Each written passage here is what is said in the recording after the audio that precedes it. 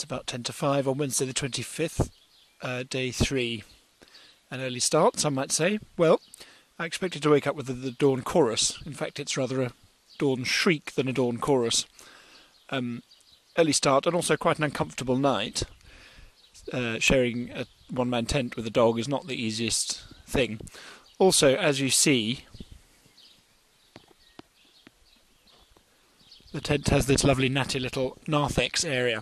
Um, what I hadn't realised is that stuff you leave on the floor will be wet in the morning, uh, not with rain but with dew, and so my boots are damp, which is silly of me. Um, have to sort that out.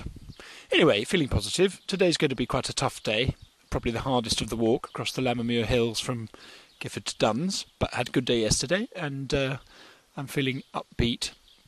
I'm here in Gifford, a guest of Violet Robertson member of our congregation, and her neighbour Bridget, who've just been fantastic. I was saying to Violet last night, if I ever have to go into war, she can be, be my general. Wonderful organised hospitality, um, logistics of how to prevent the dog swallowing her cat O'Malley, meals prepared for today, lovely hot bath last night, um, all very good.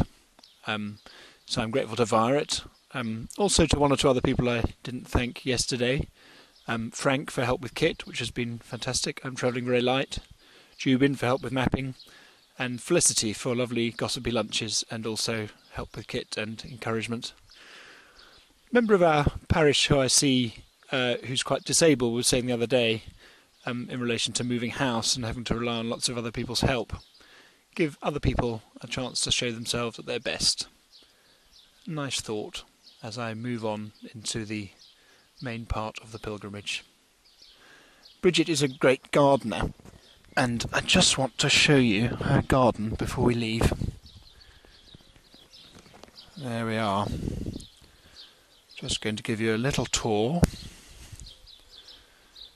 That seems to be an apple tree. And then look at this lovely little area with wisteria above. That makes me so nostalgic for Westcott House where I trained for the priesthood, where we had lovely wisteria. Nice bird table. Vegetable patch, which we managed to prevent the dog crapping on.